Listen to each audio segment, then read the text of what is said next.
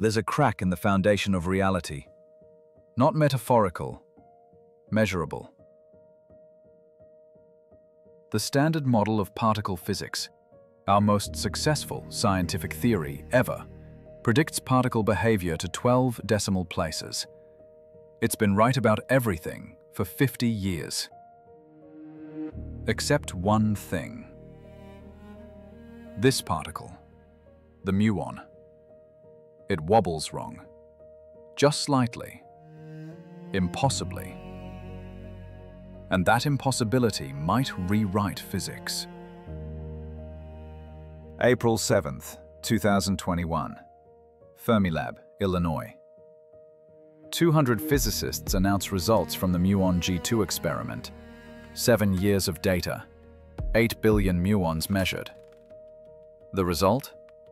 The muon's magnetic moment differs from predictions by 0.00000000251. That number sounds small. It's not.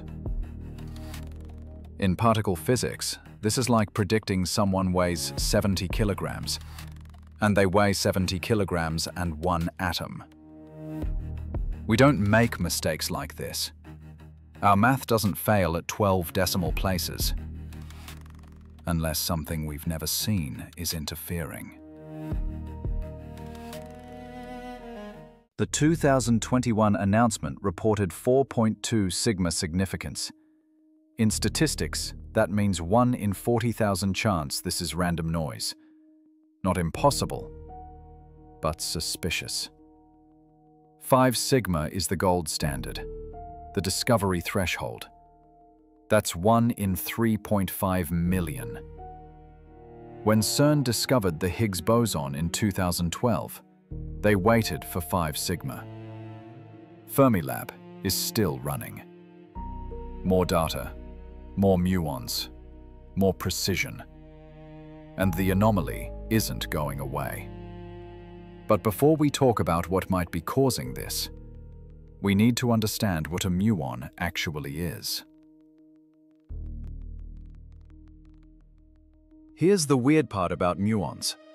They're basically electrons, same charge, same behavior, just 207 times heavier and unstable. A muon lives 2.2 microseconds before decaying into an electron and neutrinos. When physicist I. I. Rabi first learned about muons in 1936, he asked, Who ordered that? Nobody knows why muons exist. They're not needed for atoms, chemistry, biology, anything in our everyday world. But they might be the key to discovering what lies beyond our world. Muons rain down on you constantly, right now, about one per second passing through your body. They're created when cosmic rays, high-energy particles from space, slam into Earth's atmosphere. The collision shatters atomic nuclei, and in the debris, muons. Here's something beautiful. Muons shouldn't reach the ground. They're created 15 kilometers up. They live 2.2 microseconds. Even moving at 99.9% light speed, they should decay mid-atmosphere. But they don't, because time dilation is real. From the muon's perspective, it barely ages. From our perspective, it lives longer. Muons are proof Einstein was right. And now they might prove he didn't know everything. Every particle with charge and spin acts like a tiny magnet. The strength of that magnet?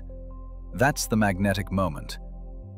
For an electron, classical physics predicts a g-factor of exactly 2. But quantum mechanics adds corrections. Virtual particles pop in and out of existence around the electron, slightly changing its magnetic properties. Every possible interaction adds a tiny contribution. Photons, W and Z bosons, even top quarks through quantum loops. Add them all up and you get the most precisely calculated number in physics. Measured value? 2.00231930436256. perfect agreement. The muon should be the same, just heavier. But it's not. The experiment is elegant. Fire muons into a 14-meter storage ring. Apply a powerful magnetic field. Watch them precess, wobble, as they circulate. The wobble rate depends on G-2. The G-2. That tiny quantum correction we talked about. Theory predicts one wobble rate. Observation shows another. The muon wobbles faster than it should, as if something invisible is tugging on it. The Standard Model is humanity's greatest intellectual achievement. It describes 17 fundamental particles, three forces, how matter gets mass, why atoms don't collapse. It predicted the W and Z bosons, found in 1983. It predicted the top quark, found in 1995. It predicted the Higgs boson, found in 2012. Every prediction correct. Some predictions match observations to one part in 10 billion. So when it fails, even slightly, we pay attention. The Standard Model has always had known problems. It doesn't include dark matter, but 85% of the universe's matter is dark matter. It doesn't include gravity, but gravity shapes the cosmos. It doesn't explain why matter won against antimatter, but we exist. It predicted neutrinos were massless. They're not. Physicists knew the Standard Model was incomplete. We've known for decades. But the muon anomaly is different. It's not a missing piece, it's a wrong piece. Calculating the muon's magnetic moment requires every interaction in the standard model. First order, photon loops. Easy. Second order, W bosons, Z bosons, more photons. Harder. Third order, top quarks, Higgs bosons, hadronic contributions. Extremely hard. The most precise calculations require supercomputers running for years, lattice quantum chromodynamics, millions of CPU hours. And after all that, theory, 2.002331833620. Experiment, 2.002331841122. The difference? 0.00000000502. Either our calculations are wrong, which would be shocking, or something new is contributing, something we've never seen. If the anomaly is real, something is interacting with muons that we haven't accounted for. New particles, new forces, new physics. Theorists have proposed dozens of explanations. They fall into three categories. Let's meet the candidates. Candidate 1. Dark photons. Imagine a particle like the photon, the carrier of electromagnetism, but much lighter and much weaker. It would mediate a new force, a dark force, if dark photons exist and couple to muons, they'd create virtual loops that affect the magnetic moment. Bonus, dark photons might also explain how dark matter interacts, killing two mysteries with one particle. Problem. We've looked for dark photons. Haven't found them. Yet. Candidate 2. Leptoquarks. The standard model separates particles into quarks and leptons. Different families, different behaviors. Leptoquarks would bridge them, a particle that transforms quarks into leptons and vice versa. If leptoquarks exist, they'd contribute to the muon's G2 through quantum loops involving quarks. and here's the kicker.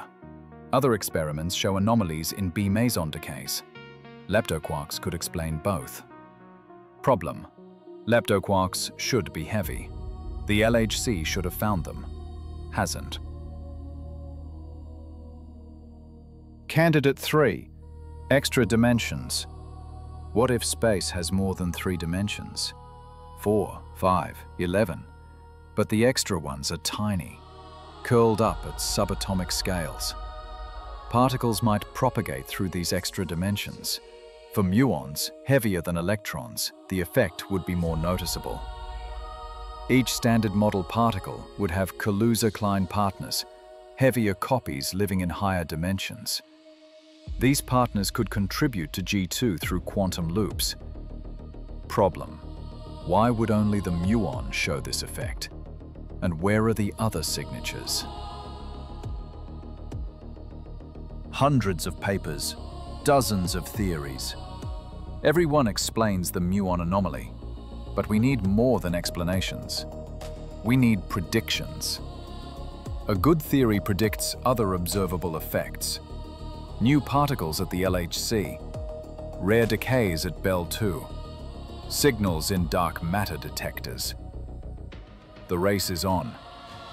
Find the second signature before someone else does. Fermilab is still collecting data.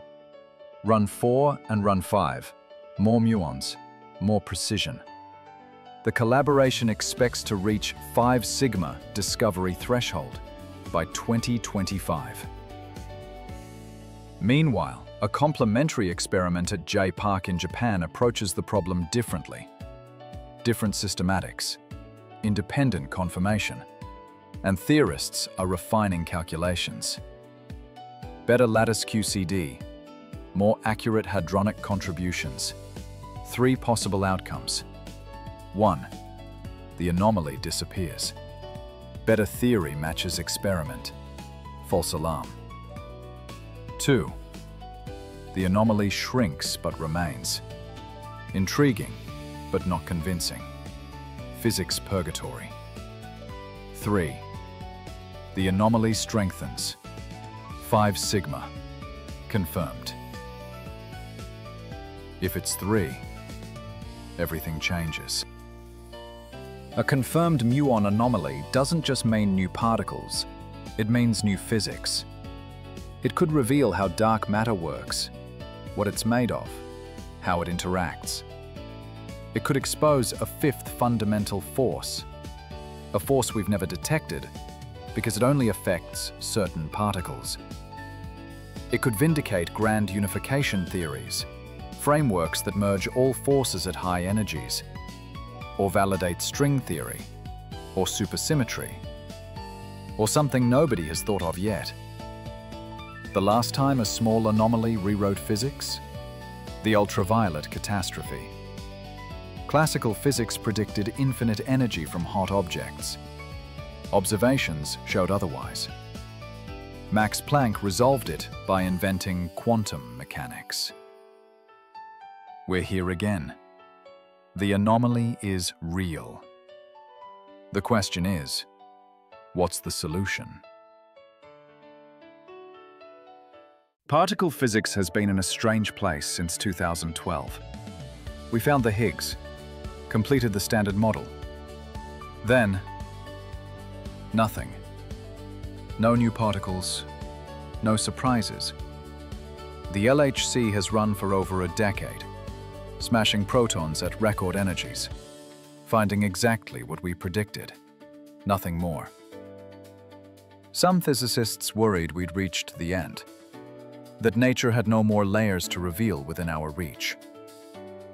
The muon says otherwise. There is something beyond the standard model, something within reach, something we can measure. A generation of physicists thought they might never discover anything new, that the great era of particle physics was behind us. They were wrong. The foundation is cracking, and through the cracks, we might finally see what lies beneath.